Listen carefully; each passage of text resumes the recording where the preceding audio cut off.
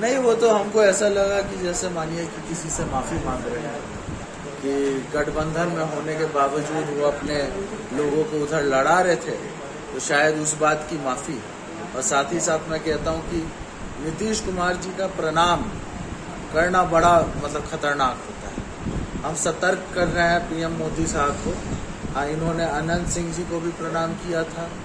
हाँ उसके बाद आपको जॉर्ज फर्नांडिस को भी प्रणाम किया था।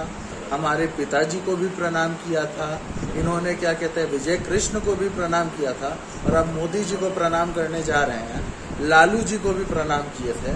जिस जिस को प्रणाम किए हैं, उसके साथ ये कुछ गलत किए हैं। तो हम पहले से ही बीजेपी और पीएम मोदी जी को सतर्क कर रहे हैं।